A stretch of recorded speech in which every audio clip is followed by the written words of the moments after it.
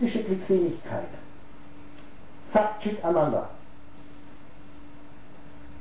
Wie komme ich in diesen Zustand? Nicht mehr kämpfen müssen.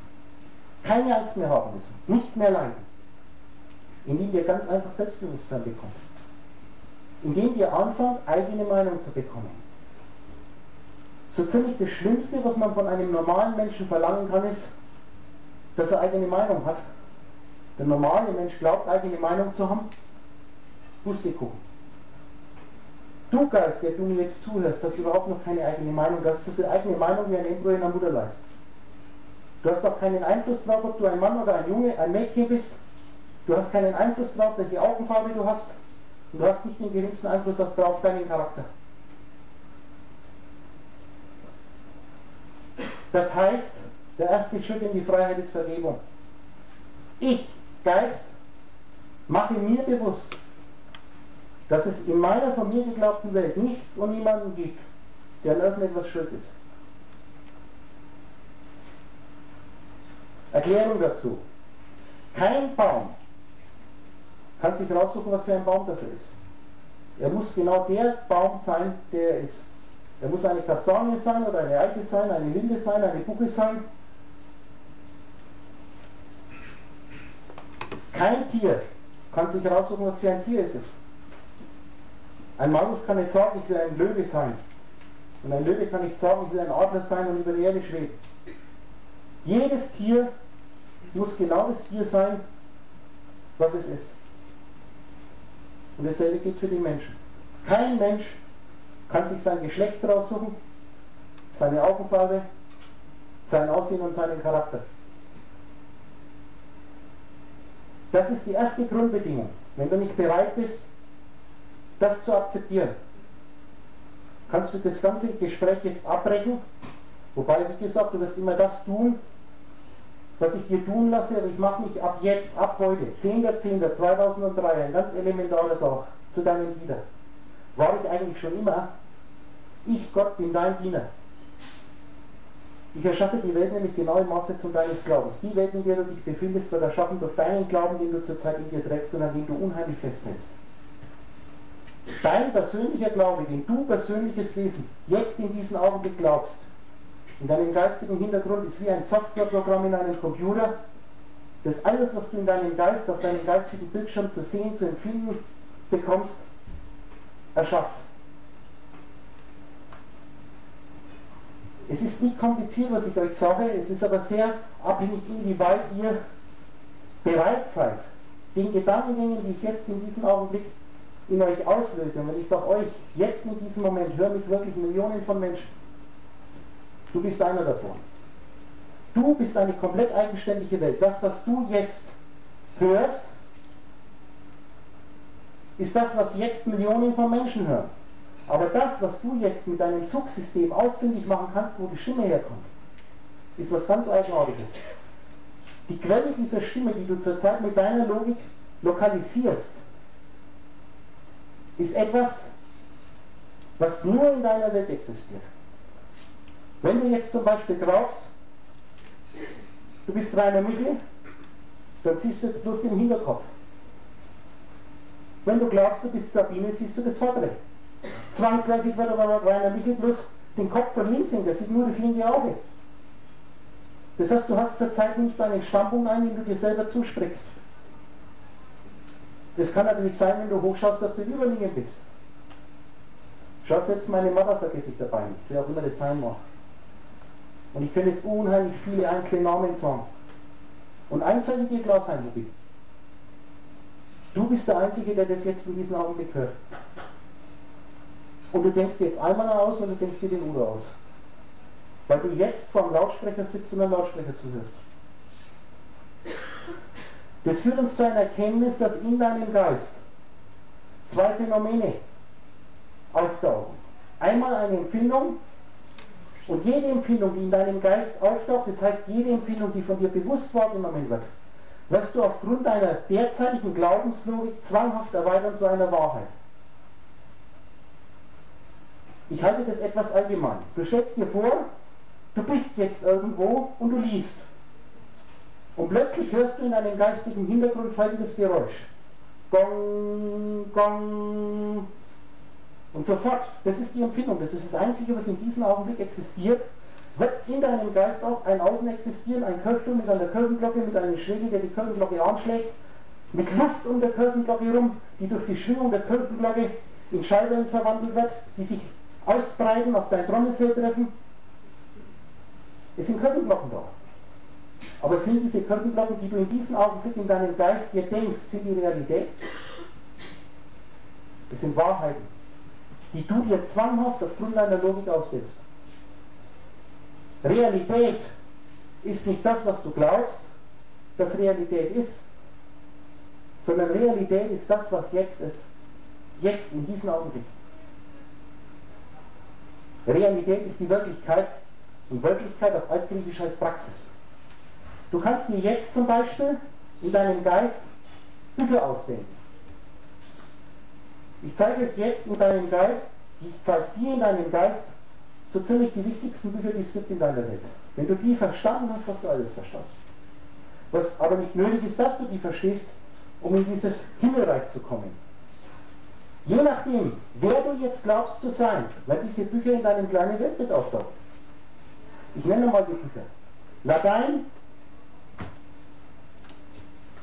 Altgriechisch, Hebräisch, Sanskrit, eine ganz normale Lutherbibel, dann habe ich hier spaßhalberweise den Pentateuch, die fünf Bücher Moses auf Hebräisch in der Linear, und dann noch einen ganz süßen Racker, großes Handbuch der Mathematik. Mehr müsst ihr nicht wissen, wenn du weißt, was da drin steht. Wenn du das hundertprozentig kennst, dann weißt du alles. Ich kenne es. Ich kenne den Inhalt. Ich habe sie geschaffen. Nicht nur die Bücher, sondern alle Bücher, die du dir überhaupt ausdenkst. Was zu beweisen wäre, würdest du dir jetzt denken.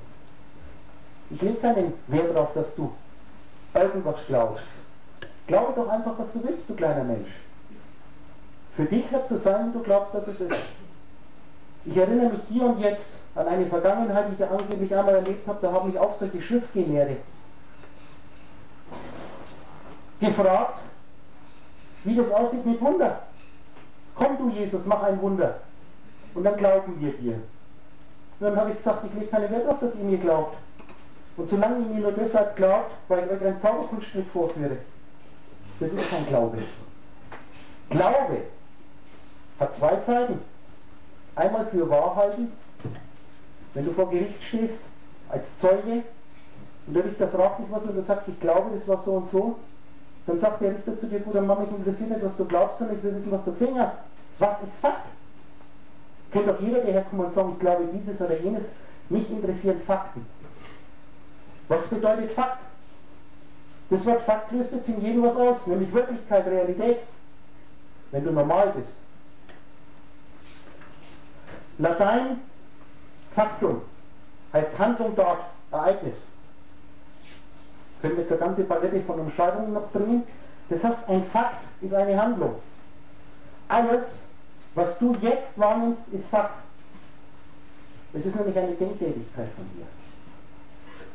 Wenn du mich jetzt in diesem Augenblick als Mensch vor dir glaubst, dieses Bild befindet sich in deinem Geist.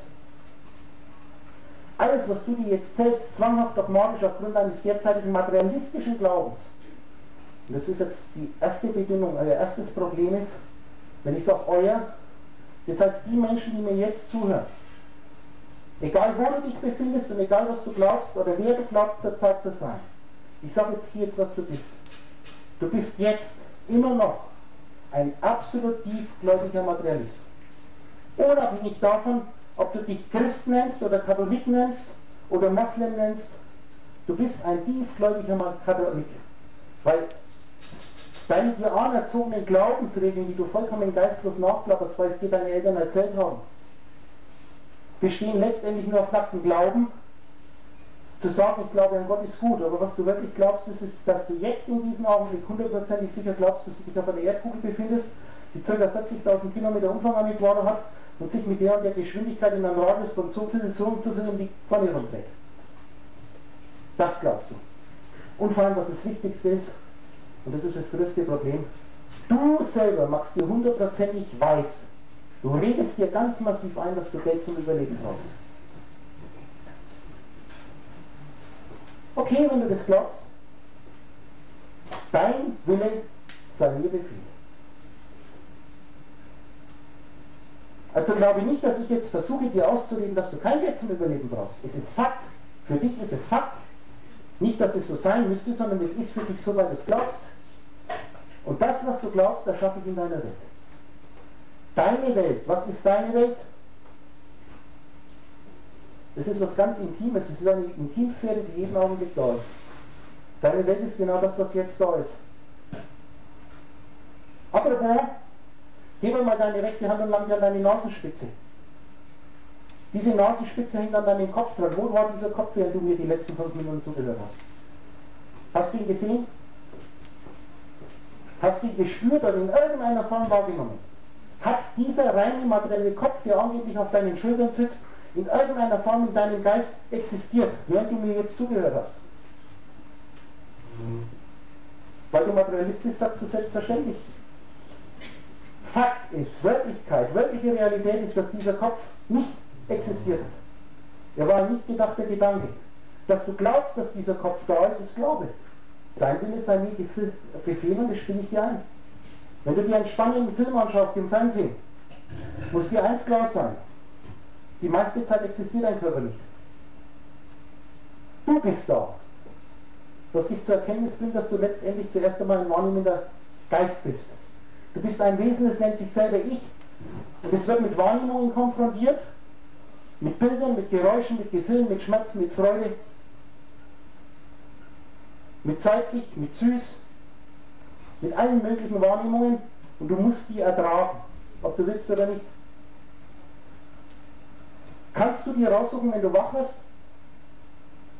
Angeblich war du ja, warst du ja vorher weg, völlig weg. Kannst du dir raussuchen, wenn du wach wirst? Wahrlich, ich sage dir, ich bin derjenige, der dich wach werden lässt.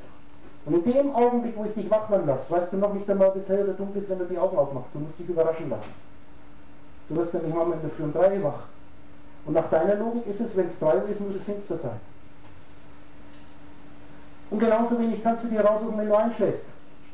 Erinnere dich doch, wie oft warst du schon im Bett und du hättest gerade geschlafen. Was ist Schlafen? Ich benutze jetzt das Wort Schlafen in deinem Wortverständnis. Schlafen ist eigentlich was ganz was anderes, aber ich bleibe jetzt innerhalb deiner Logik. Das heißt, du liegst in deinem Bett und du möchtest schlafen. Schlafen heißt das Bewusstsein ausschalten. Weg sein, Ruhe, unendliche Ruhe. Und jetzt habe ich diese Sorgen und Probleme, Geld und nochmal Geld und nochmal Geld. Wo ist dein freier Wille? Wo ist dein freier Wille? Du wirst dir die Scheiße, die ich dir denken lasse, denken müssen, ob du willst oder nicht. Mach dir das bewusst, das ist das, was ist. Und wenn ich will, dass du weg bist, dann bist du weg. Nicht, wenn du willst. Und alles, was dazwischen passiert, zwischen dem Einschlafen und dem Aufwachen, Moment einmal, das beginnt doch mit Aufwachen. Es war Abend und morgen der nächste doch. Es ist alles genau gespiegelt, wie ihr glaubt. Da werdet ihr irgendwann nochmal dahinter kommen. Das Größte wird zum Kleinsten werden. Jetzt bitte sehr Aufmerksamkeit, äh, sehr große Aufmerksamkeit. Wenn du zum Beispiel jetzt glaubst, dass du irgendeinen Titel besitzt und stolz darauf bist, ist es eine riesengroße Auszeichnung für deine eigene Idiotie.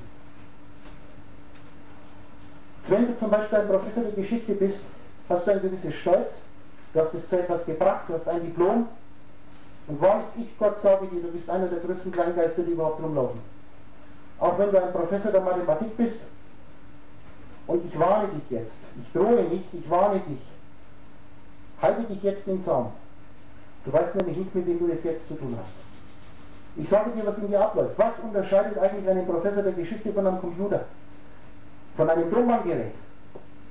Nichts, absolut nichts.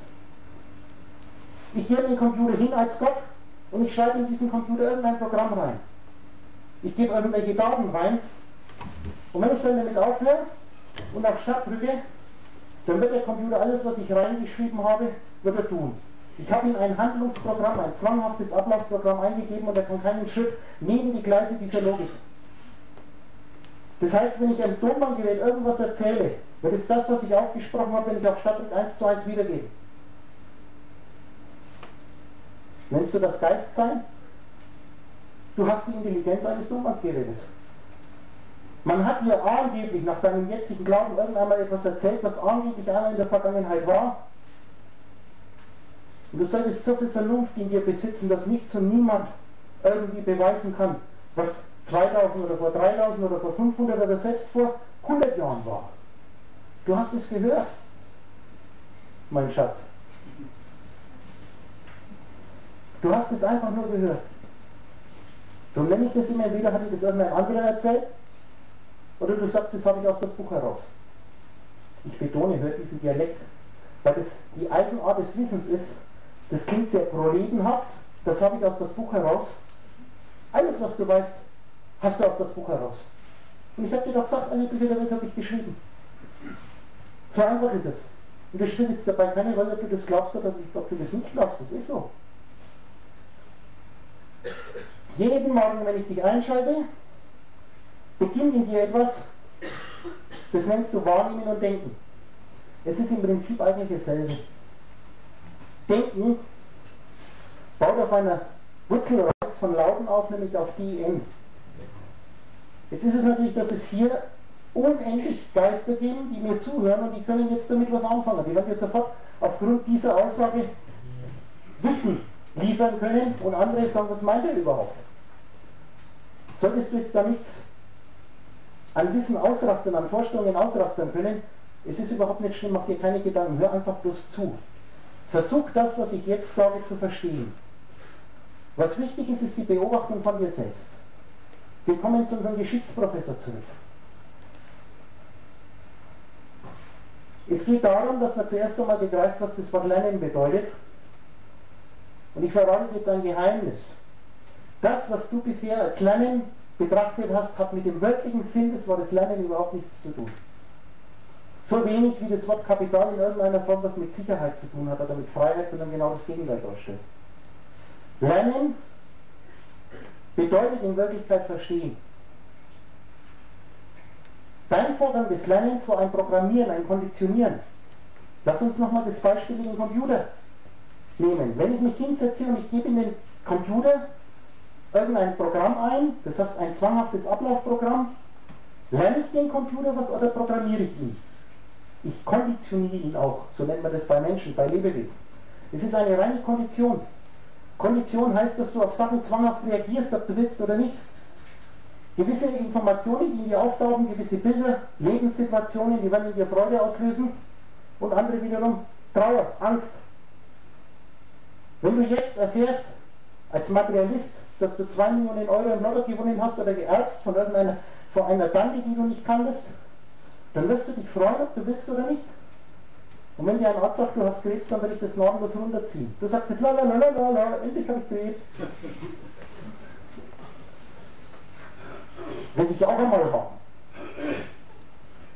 Das ist also hier mal die Erkenntnis, das heißt, das ist dieses Programm, Schamgefühle. Ich mache jetzt mal Fantasiebild im Kopf. Ich denke mir einen, der radelt von Norddeutschland nach Süddeutschland ohne einen Pfennig. Er versucht es so mit Freundlichkeit. Und jetzt hat er einen Termin in Süddeutschland. Und weil er nicht schwitzig, weil er nicht stinken will, im Sommer, ist er mal so Abenteuerurlaub, stellt er sich in sein kleines Waldstück, tut so eine Campingdusche aufbauen und wäscht sich. Und jetzt kommen Spaziergänger vorbei und die sehen den nackten Mann. Und die sagen, das ist ja allerhand wenn Kinder sehen. Du solltest dir mal bewusst machen, wie unendlich krank diese Aussage, dieser Glaube ist. Was ist einer nackten Menschen schmutzig? Es ist das Natürlichste der Welt. Also in der Bibel wird behauptet, dass die ersten Menschen im Paradies nackt waren. Nachdem ich euch rausgeschmissen habe, habt ihr euch das angezogen. Wieso, wieso ist es in euch drin? Ist hier einer da, der kein Schamgefühl hat? Thomas Evangelium. Meister, wann sind wir frei? Und was habe ich geantwortet? Geh mitten auf dem Marktplatz, zieh dich splitterfasernackt aus, tanze und lache und dich den Dreck drum, was die anderen Menschen von dir denken. Dann bist du frei. und keine Sekunde früher. Ich mache ein neues Markus-Evangelium. Meister, wann sind wir frei? Wenn du an einer, vor einer gedeckten Tafel sitzt und du hast Hunger, dann ess, so viel du willst, ess, was dir schmeckt.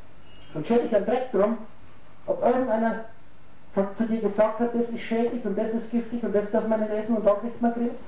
Stell dich ein Dreck drum, ob du dick wirst.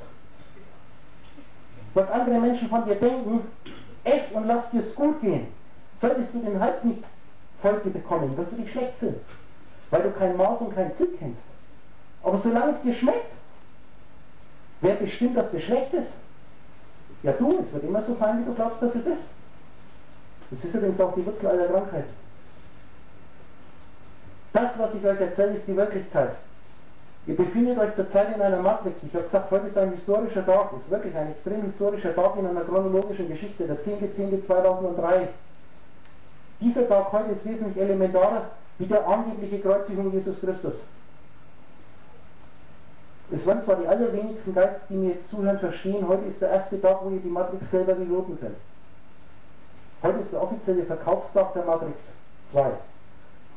Manche, jetzt haben wir wieder ein Geräusch, mit dem viele, die jetzt diese Stimme hören, überhaupt nichts anfangen können. Manche sagen jetzt ja, das ist irgendein Kinofilm. Habe ich gehört, manche haben ihn sogar schon gesehen, weil sie im Kino waren. Sie mussten aber ins Kino gehen. Ab heute kann man die Matrix selber reloaden. Reloaden. Das heißt, ich gebe euch jetzt die Möglichkeit, eure Welt vollkommen zu verändern.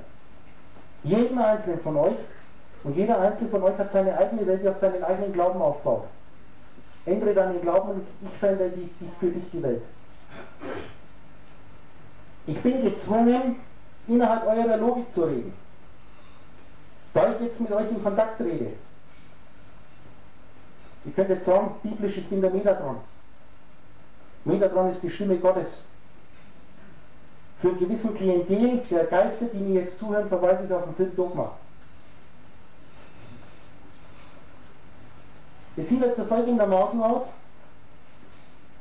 dass ich alles, was ich in euren Geist zur Zeit ersichtlich mache, raumzeitlich ausdrücken muss.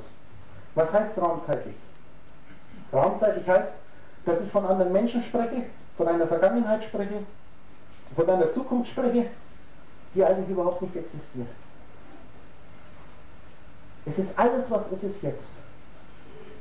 Hier in dem kleinen Buch, das ich die schimpft, wobei das Original wohlgemerkt noch ganz andere Seiten aufzeigt, wenn man sie lesen kann. Kleine Lutherbibel. Steht eigentlich alles drin. Da gibt es dann ganz am Schluss eine Johannes-Offenbarung, übrigens auch in der Bhagavad Gita und im Koran. All diese Schriften wurden von mir geschrieben. Das heißt, ich ziehe keine vor und ich sage nicht eine schlechte, die sagen alle im Endeffekt dasselbe. Zum Beispiel die hebräische Bibel, diese heilige Schrift im Original besteht sie aus hebräischen Schriftzeichen. Ich habe einigen von euch schon einiges über diese hebräischen Schriftzeichen erzählt. Das sind die Energiewesen. Und das, was ich euch jetzt erzähle, ist nicht esoterisch, aber das sind jetzt wieder Postulate, die müssen wir einfach stehen lassen, das könnt ihr nicht überprüfen. Ich weiß jetzt darauf hin, ich verlange auch nicht, dass ihr das glaubt, ihr sollt einfach zuhören. Glauben sollt ihr nur das, was ihr hier und jetzt überprüfen könnt. Glauben meine ich jetzt empfindungsmäßig, dass ihr wisst, das ist Wirklichkeit, das ist richtig, das ist das Einzige, was wirklich Realität ist, das ist jetzt.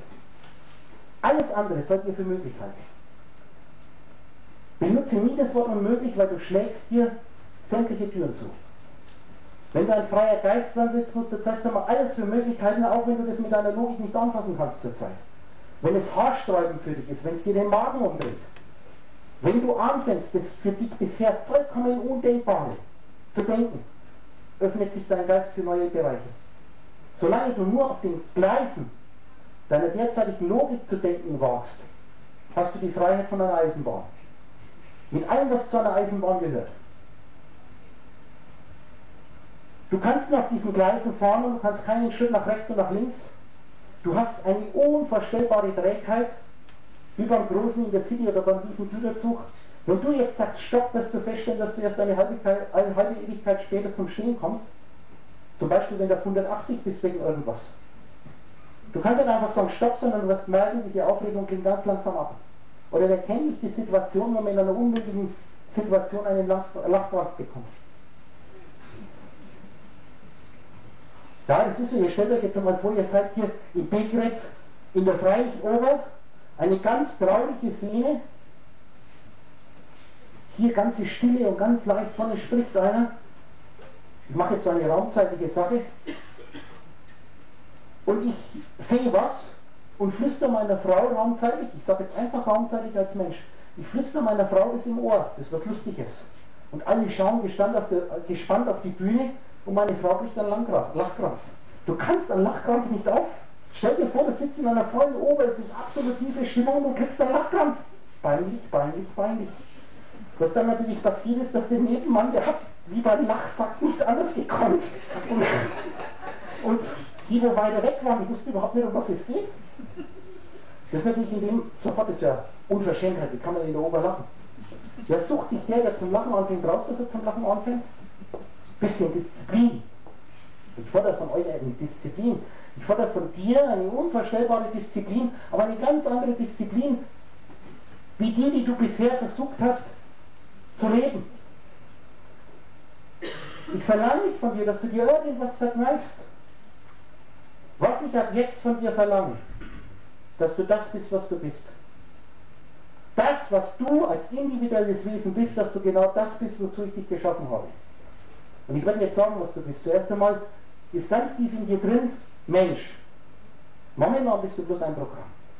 Du wirst erst Mensch sein, wenn du dieses Programmsein überwunden hast. Das beginnt, dass du anfängst, nicht mehr normal sein zu wollen. Solange du nämlich normal bist, bist du normiert. Und diese Normierung hat natürlich, wie alles zwei Seiten hat, das ist übrigens auch sein Gebot, alles hat zwei Seiten. Diese Normierung, in der Bibel steht auch, du trägst das Zeichen des Tiers auf der Stirn. Diese Normierung ist dieses Programm. Du reagierst zwanghaft, weil du normiert bist. Und erst wenn du verrückt bist, wenn du dich aus diesem einen Programm herausrückst, selig sind die Verrückten, die sind mein Himmelreich. Erst dann bist du ein außergewöhnlicher Mensch. Hör dir diese Worte an. Du lebst dann außerhalb deiner zwanghaften Gewohnheiten.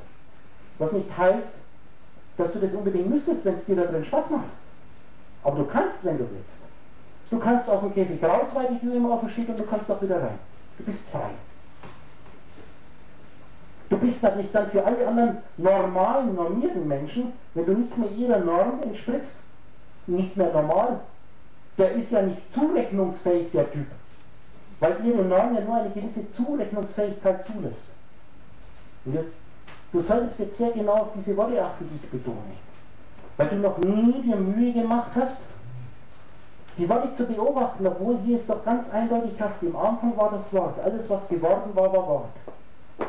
Als moderner aufgeklärter Mensch weißt du, was ein DVD-Player ist? Und eine DVD, was ist auf der DVD eigentlich drauf? Ja, ein Film natürlich. Auf der DVD ist überhaupt kein Film mehr drauf, sondern das sind eigentlich bloß Bündchen und Strichchen drauf. Ein und aus, ein und aus, sonst nichts. Und ein gewisser Code, wie beim Morse-Code, wird jetzt zusammengefasst und dann werden Buchstaben draus gemacht und aus diesen Buchstaben wiederum werden Worte und aus diesen Worten werden Sätze und aus den Sätzen werden Geschichten.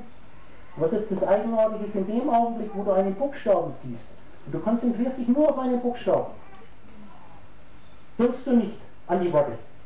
Wenn ich dir jetzt ein Wort gebe, ich sage jetzt zum Beispiel einfach wieder das Geräusch Fenster, wenn das jetzt einfach in deinem Alltag auftaucht, dieser Gedanke oder in der Zeitung, in einem Buch, konzentrierst du dich auf das F, auf das E, auf das T, schaust du dir ein, bist du dir der Buchstaben bewusst? Nein, in dem Moment, wo du auf der Wortebene bist, lösen sich die Buchstaben auf in deinem Geist. Das ist übrigens das Kegelbeispiel. In dem Augenblick, wo du einen Kegel siehst, denkst du nicht an Kreis und Dreieck.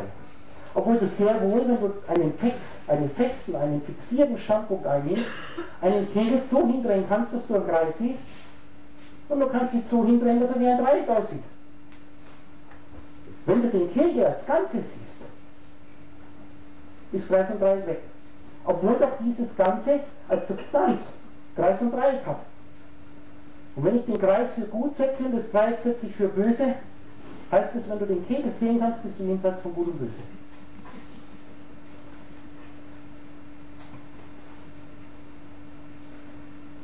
Um zusammenzufassen, aus Buchstaben werden Worte, in dem Moment, wo du die Worte siehst, lösen sich die Buchstaben auf.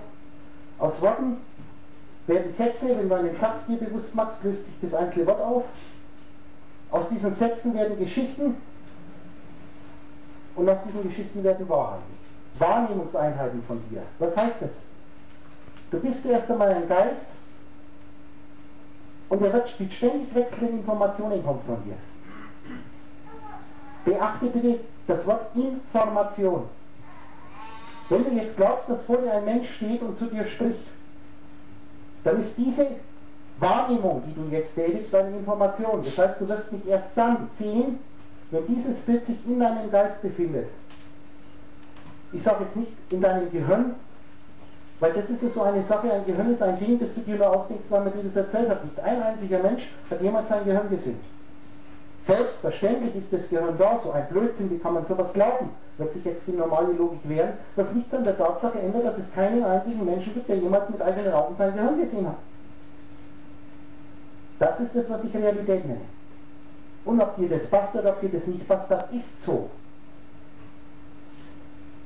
Siehst du jetzt Sonne, Mond und Sterne? So, jetzt pass auf. Sonne, Mond und Sterne haben bis jetzt in deinem Geist überhaupt nicht existiert. Du hast sie weder gesehen, noch gespürt, noch in irgendeiner Form daran gedacht. Sie waren eigentlich nicht gedachte Gedanken. Und jetzt kannst du dir hundertprozentig sicher sein, dass Sonne, Mond und Sterne, diese Geräusche, sich in deinem Geist befinden als Informationen, sind Empfindungen. Sonne ist nur ein Geräusch, Mond ist ein Geräusch. Und jetzt aufgrund deiner Matrix, deines logischen Programms, für etwas modernere Leute, das ist ungefähr so, wenn ich einen Scanner, ein Schriftstück einscanne im Computer und dann lasse ich das durch einen sogenannten Schrifterkennungsfilter laufen, dass ich das in irgendeiner Textdatei einlesen kann. Wirst du zwanghaft dir jetzt was vorstellen? Das sind aber wieder Wahrheiten. Die Empfindungen oder die Empfindung Sonne, die Empfindung Mond oder Stern ist nur ein Geräusch, ein Wort. Und aufgrund deines jetzigen logischen Systems, das du in dir trägst, das du von mir übrigens hast, wirst du dir jetzt was ausrechnen, nämlich ein heliozentrisches Weltbild und wirst dir selber hundertprozentig sicher glauben machen, dass das ganze Zeug auch da ist, wenn du nicht dran denkst. Das ist das, was jetzt ist. Das ist Wirklichkeit. Es ist möglich, sage ich jetzt zu dir, dass da außen Sonne, Mond und Sterne sind. Wenn du nicht dran denkst, ist es aber auch möglich, dass es nicht so ist.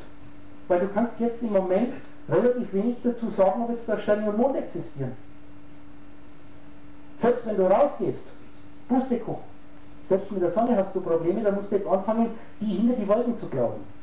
Das heißt, du glaubst dir die Sonne hinter die Wolken. Und du wirst jetzt auch vollkommen logisch mit deiner Logik erklären, wieso dass du den Mond und die Sterne nicht siehst. Es ist alles hundertprozentig logisch. Aber jetzt hör zu, es ist hundertprozentig logisch, aber es ist nicht geistreich. Wir haben festgestellt, ein Computer kann logisch sein, aber er ist kein Geist, er kann nicht denken. Lernen. Ich komme zurück zum Lernen. Was ist nun wirkliches Lernen? Lernen ist nicht konditionieren. Für gebildete intellektuelle Menschen, das, was hier Pavlov macht, der Pavlovsche Hund, der beschreibt Kondition. Kondition heißt, dass das ein Gewöhnungseffekt ist. Das, was ich einhämmer, das wird der, das Lebewesen oder der Computer auch tun. Es ist einfach eine, ein Reaktionsmuster, das vollkommen zwanghaft abläuft. Was hier sehr interessant ist, ist zum Beispiel,